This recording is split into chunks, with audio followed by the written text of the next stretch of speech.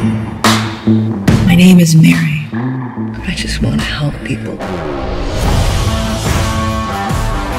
You bring anything back from Mexico? Just a few souvenirs.